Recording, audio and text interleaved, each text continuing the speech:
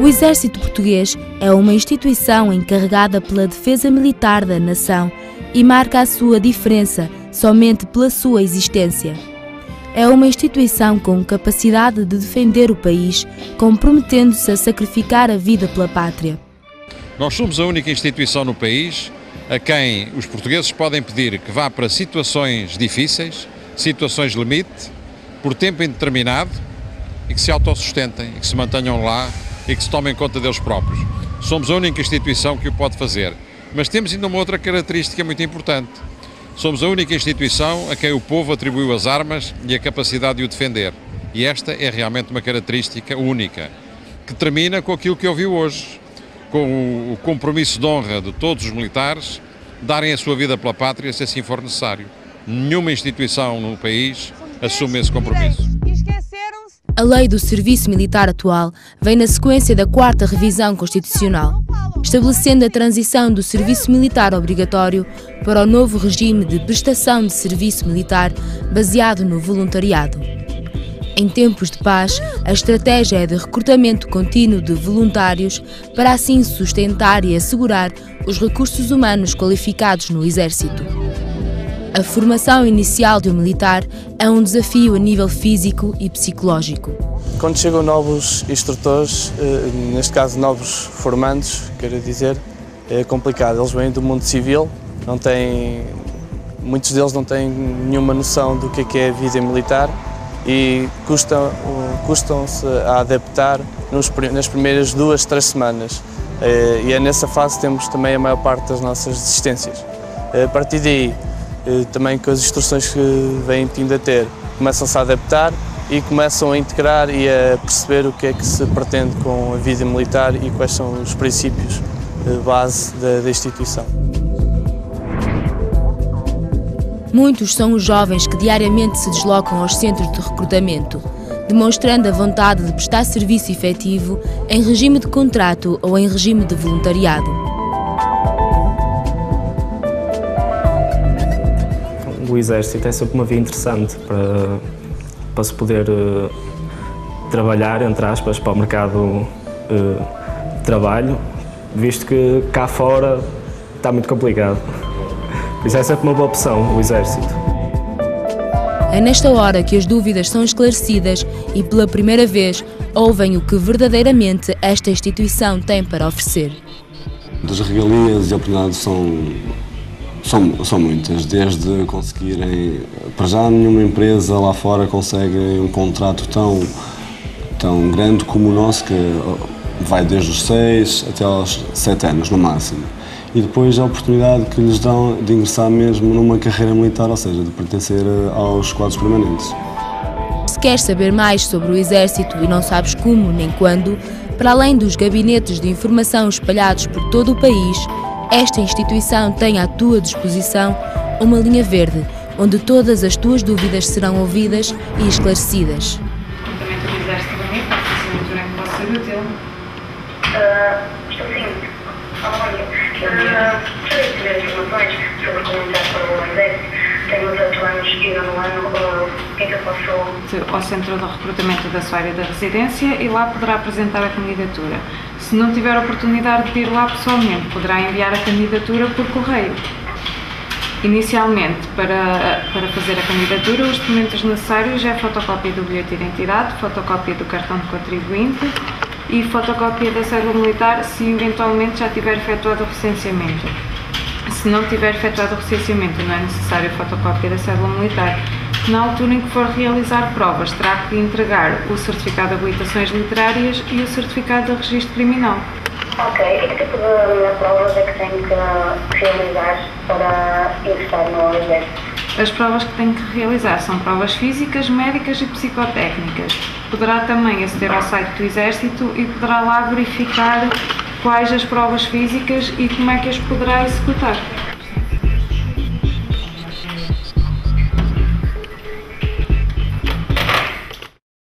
Numa altura em que o desemprego cresce a um ritmo assustador, sobretudo entre os mais jovens, o exército português surge como um futuro promissor. Eu gostava de ir para missões, missões de paz. Uh, espero entrar na área de saúde também, gostava muito. Para já esse é o meu objetivo.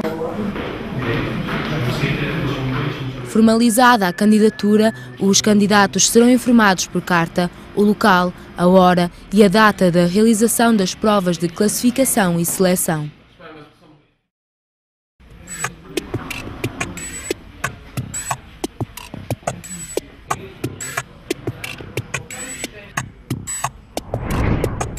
Estas provas são realizadas num gabinete de classificação e seleção e têm como finalidade verificar as capacidades motoras e avaliar as características da personalidade do candidato, determinando a sua adequação à vida militar.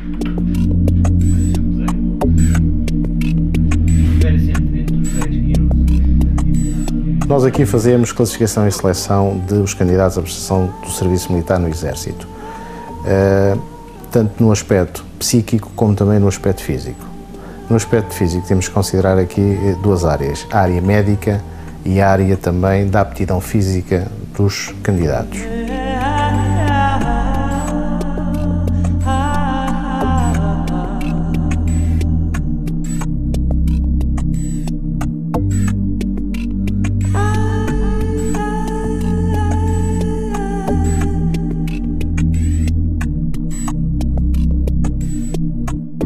Nosso objetivo é colocar o homem certo no local certo.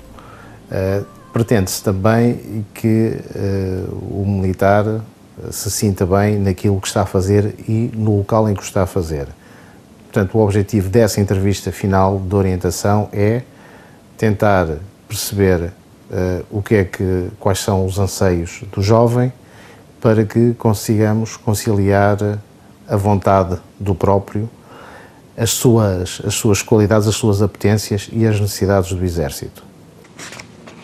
Mediante o teu perfil, fizeste as provas todas, o que é que tinhas pensado seguir no Exército, em área? O que é que tu fazes lá Eu fora? Estava assim um bocado e o que é que tu fazes lá fora?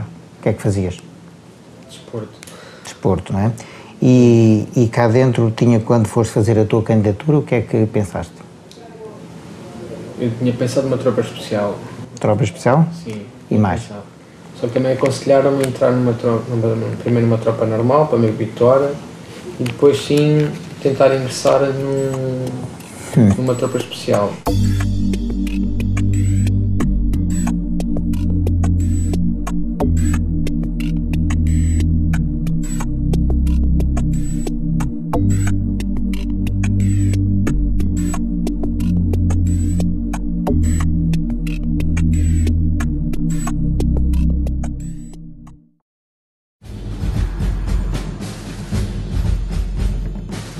Quiserem levantar dinheiro lá fora, avisem. Alguém quer levantar dinheiro lá fora? Ok, a carta de convocatória. Toda a gente recebeu a carta de convocatória. Pronto. Não houve ninguém que foi telefonema. Vocês entram hoje, só saem sexta-feira. Toda a gente tem aí o comprovativo convosco. Vocês dois é cartão único, têm com, convosco.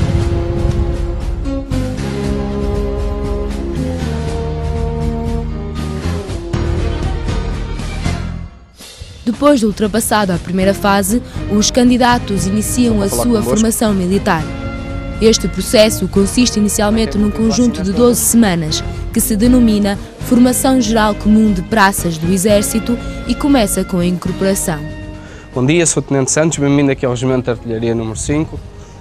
Vamos ver se vocês têm tudo aquilo que é necessário para efetuarem uma correta incorporação. O primeiro dia para eles é sempre uma incógnita e também uma avalanche de informação.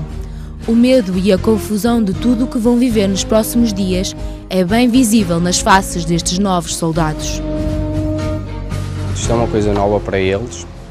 Eles, à partida, talvez um, um bocado por se sentirem uh, constrangidos, embaraçados, alguma vergonha, não costumam colocar grandes dúvidas aqui à entrada.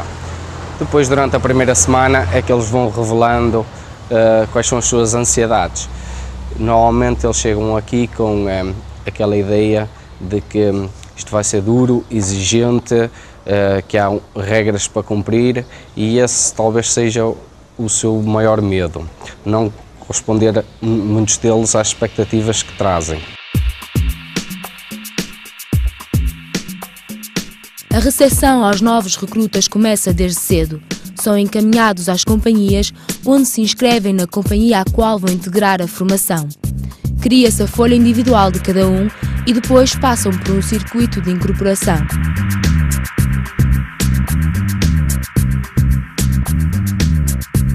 Este circuito contempla várias estações: o registro financeiro e o registro de documentos na Secretaria de Mobilização.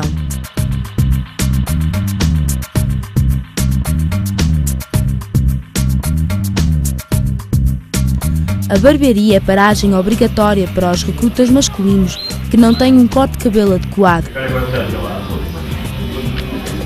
É um local engraçado que marca as suas primeiras transformações.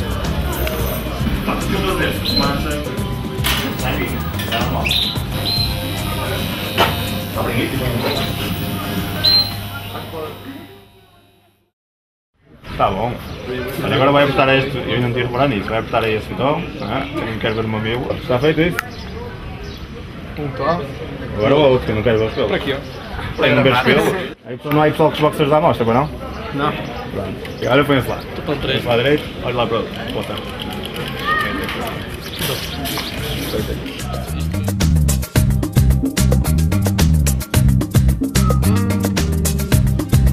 A entrega da farda é realizada por soldados da casa. Tudo é distribuído de forma igual, na medida certa, sem margem para erros.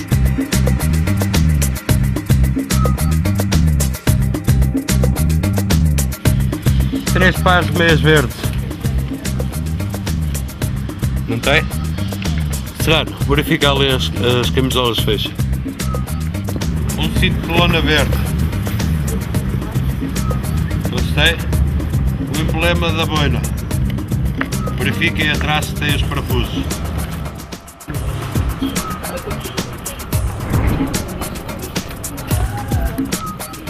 O dia vai longo quando surge a última estação, a entrada nas casernas. Este é o local onde irão dividir alegrias, brincadeiras e desabafos com os seus novos camaradas. Então este é um armário para cada um, é? É um armário para cada um. Um fica em cima. Exatamente.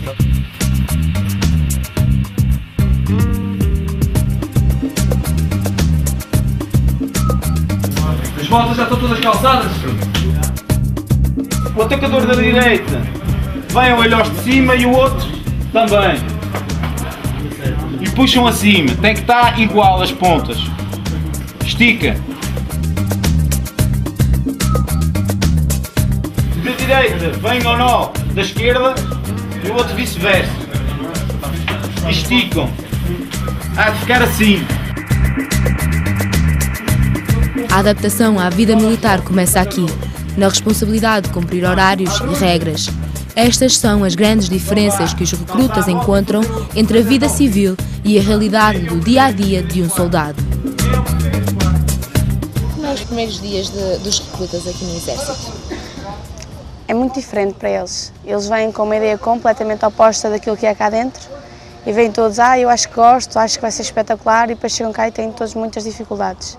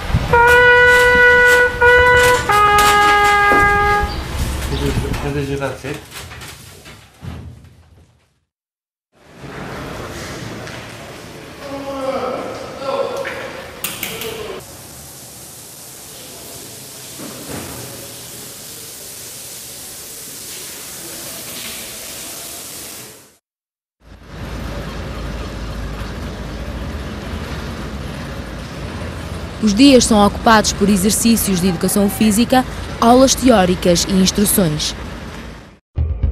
Camaradas, vocês acabaram de chegar à Torre Multifunções do Regimento de Artilharia número 5. Aqui nós fazemos diferentes tipos de atividades de transposição de obstáculos. Vocês lá fora estão habituados a conhecer essas atividades como sendo atividades radicais. Nós aqui dentro, no Exército, utilizamos este tipo de atividades para quê? Para transposição de obstáculos. Deste curso constam matérias como manuseamento de armas, sobrevivência em campo de batalha, técnicas de camuflagem, primeiros socorros, treino físico e informática. A formação consiste inicialmente em 5 semanas e depois mais 7, ou seja, são um conjunto de 12 semanas eh, que se denomina pelo curso de formação geral de praças do, do Exército. Durante essas semanas tem todo um conjunto de, de sessões de formação que vão desde eh, treino físico militar, eh, instruções de moral, moral cívica e militar, eh, instruções de armamento, de técnica individual de combate e todo um outro conjunto de formações que lhe dará potências para saírem aqui, do, neste caso, do, do curso, com eh, capacidade de sobreviver no campo de batalha sozinhos.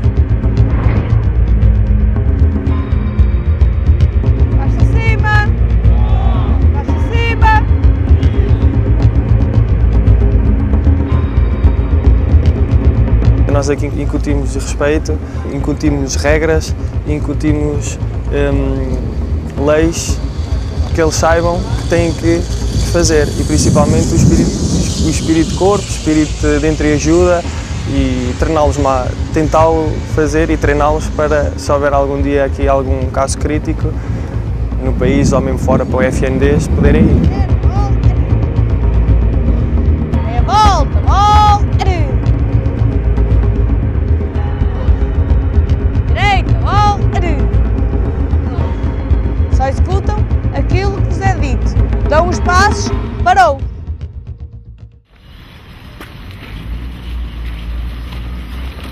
Treino é intenso e exigente, de forma a prepará-los para serem militares do exército moderno. A instrução nuclear, biológica e química é um dos exemplos da preparação destes formandos para a realidade atual que podem enfrentar numa frente de batalha. Neste momento vamos assistir a uma instrução de hum, NBQ, satisfazer as necessidades fisiológicas em ambiente biológico e químico. Na primeira fase vamos ter a, a base da teoria, não é? é? preparar os militares para a nível teórico para saber o que é que devem fazer em determinada uh, situação que possa acontecer. E depois de terem a teoria toda, vão passar à parte prática em que eu hei de criar algumas situações em que eles têm que atuar mediante aquilo que foi ministrado uh, na instrução.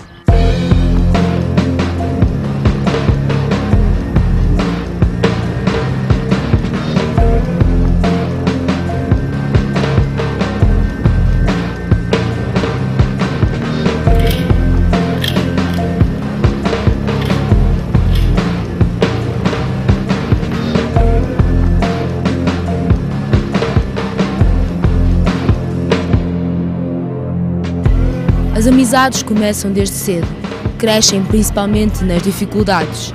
Desde o primeiro segundo, o espírito de camaradagem é incutido pelos seus instrutores que valorizam estes laços. Esses laços são criados, eh, são situações que não são postas no dia a dia, no nosso dia a dia, tanto na instrução como pronto, no nosso dia a dia, em situações operacionais e etc. Nas, principalmente nas dificuldades, aí é que se vê os laços de união, aí é que se vê realmente as pessoas conforme elas são e é que vemos com quem é que a gente pode contar. E aí sim, chama-se camaradagem, é? é? a gente saber que pode contar com um camarada amigo de lado e saber que podemos contar com ele para o que vier e vier. Acho que na recruta o que marca mais são uh, os momentos maus e é nessas alturas que se vê mais camaradagem. Camaradagem foi um termo que apareceu para nós. Não somos só nós, agora somos um todo. Começa por uma parelha, depois passa para um pelotão de seguida uma companhia.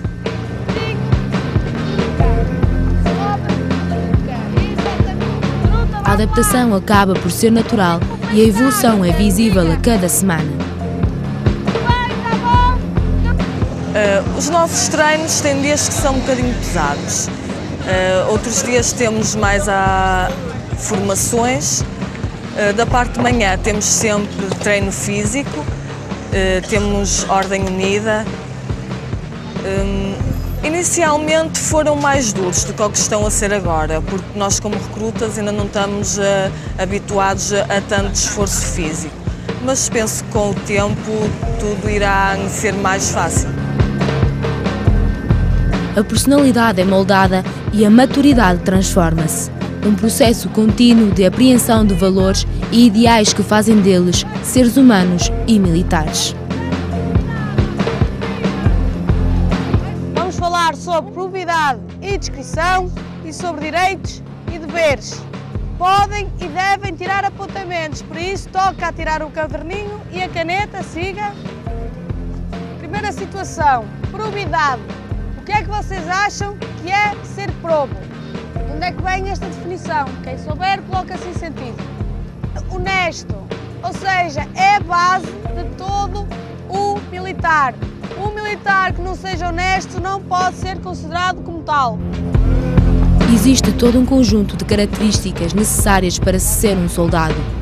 O desenvolvimento de qualidades cívicas, o sentido de dever e da honra, o patriotismo, e os atributos de caráter indispensáveis ao exercício da função de um soldado são promovidos diariamente na instrução. Uma pessoa honesta, que não minta, que seja responsável e que, principalmente tudo, seja patriotista, que goste disto. A tropa, eu costumo dizer que não é para quem quer, é para quem pode. É porque não é só ter o espírito de querer cá ficar, é ter o espírito, tem que, ser, tem que ter a atitude psicológica e a aptitude física. Grande parte do tempo é passado dentro do quartel, com instalações próprias e suficientes para que a recruta decorra da melhor forma e com a qualidade já conhecida do Exército. O Exército tem aspectos e valores intangíveis e valores muito concretos. E aspectos muito concretos pode oferecer aos jovens que querem servir a pátria no Exército. Nós queremos, em primeiro lugar, ser atrativos a todos os estratos da sociedade portuguesa porque precisamos de oficiais, de sargentos e de praças. Precisamos de gente qualificada, que se sinta bem no Exército. Por isso fazemos um grande esforço de transparência um grande esforço de informação. O que nós temos a oferecer aos cidadãos é uma cultura de valores, uma escola de liderança, mas também uma oportunidade de qualificação e de validação da, da, da formação militar.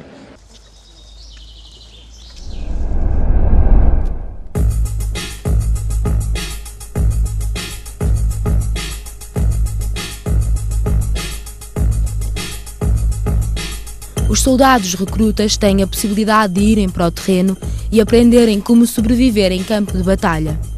Uma semana diferente e esperada por todos os instruendos e instrutores. Aprendem desde a captação de água até às construções de abrigos. Tudo é levado ao pormenor e tudo é essencial para a sobrevivência destes soldados. Temos um treino bastante intenso, temos poucas horas de descanso, principalmente nesta semana de campo e uh, tanto a nível físico como, como, mental penso que conseguiria integrar uma missão.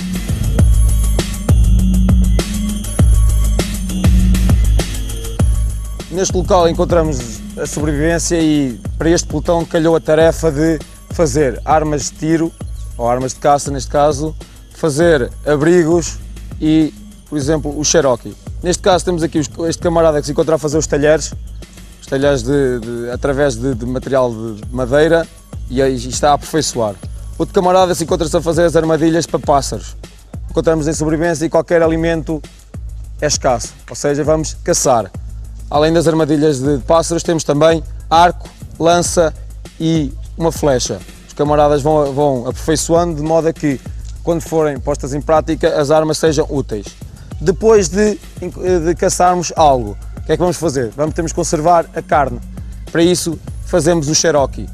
É um forno, é um fumeiro, é um fumeiro que, se, que os camaradas encontram a fazer, onde vamos uh, conservar a carne, secá-la para conseguir conservá-la.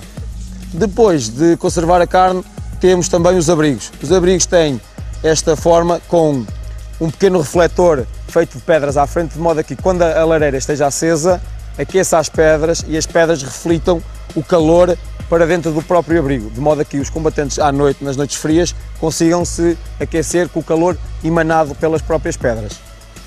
Depois tem também o armeiro. O armeiro, em cada estação encontra-se um armeiro.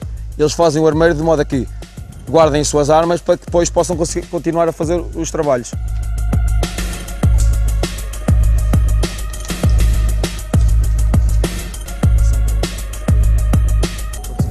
Como estamos também em sobrevivência, podemos estar ao pé de campos de cereal em que utilizamos esse, cereal, esse, esse próprio cereal para fazer pão.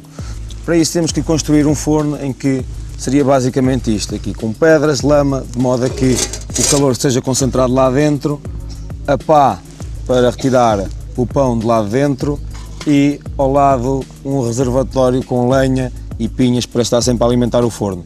Este forno também, além de pão, tem podia ser para cozinhar algum assado, se porventura fosse necessário.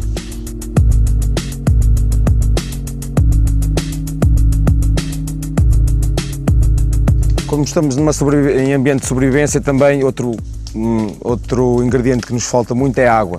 A água pode haver em abundância, contudo poderá não ser potável. Contudo, temos que utilizar técnicas para purificar uh, esta própria água. Para isso construímos aqui um, um, um filtro de água, ou seja, constituído por três bases, em que a primeira irá ser constituída por cascalho, a segunda por areia fina e a terceira por carvão, de modo a que o carvão purifique esta água. E no final um reservatório para acondicionar a água. Imaginemos que vamos a progredir e encontramos um curso de água em que a água tem uma cor um tanto ou quanto acastanhada. O que é que iremos fazer?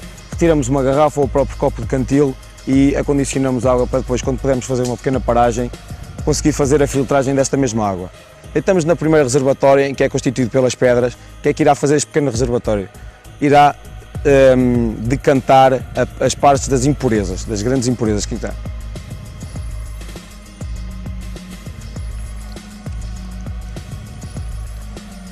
é, filtra as, as, grandes impurezas. Depois, o segundo reservatório irá filtrar, é constituído por areia fina, irá filtrar as partículas mais finas que, que se encontram na água. De seguida, o terceiro reservatório é constituído por carvão, de modo a que consiga filtrar o máximo de produtos químicos que a água tenha. No final, iremos ter um pequeno reservatório para recolher a água e assim estaria pronta a consumir.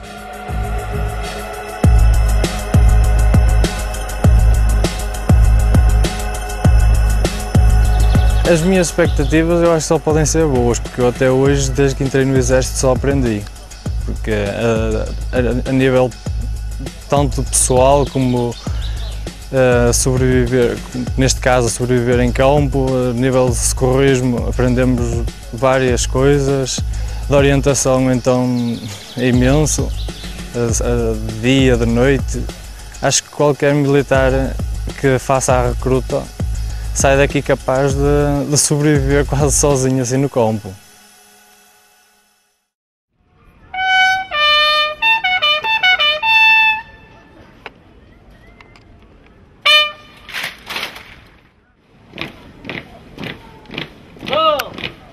O juramento de bandeira é a mais importante e solene cerimónia militar. São convidados familiares e amigos para testemunharem perante os novos soldados de Portugal o seu compromisso para com a pátria.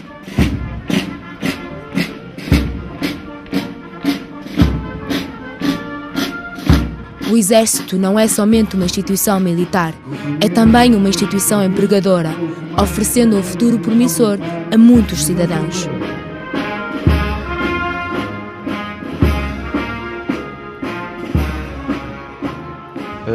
São expectativas em relação a um sonho que tenho desde pequeno, não é? E não só. É uma coisa que é estável neste momento também, a nível de emprego, porque isto está mal lá fora. Isto, o, o exército abre-me portas para muita coisa.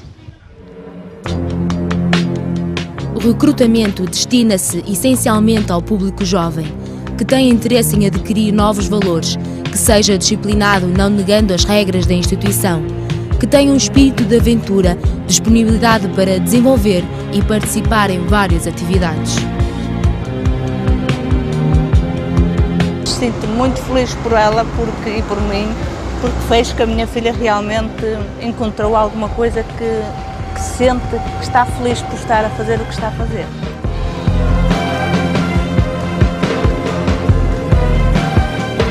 No início são indivíduos, no fim do recrutamento são um pelotão. Um só não vale nada, mas todos juntos fazem a força.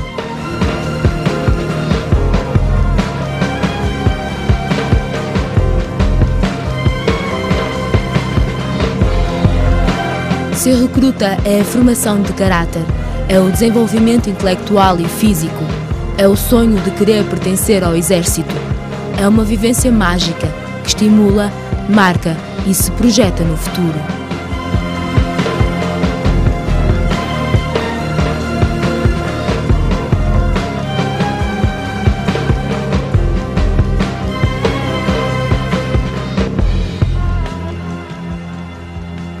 Juro.